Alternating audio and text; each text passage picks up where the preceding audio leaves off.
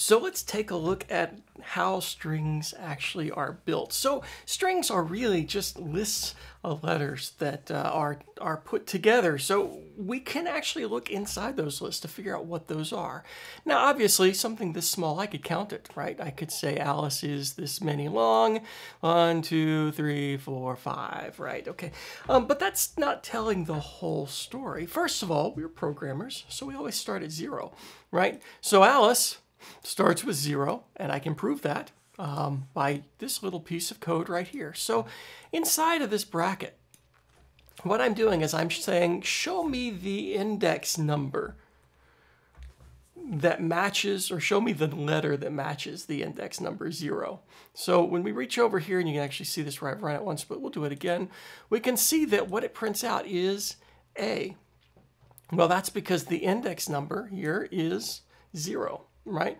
So as you might guess, the index number for L would be a 1. So if I wanted to print just that, I could say, okay, well, show me just the first numbered index. So index 0, index 1, index 2, index 3, index 4.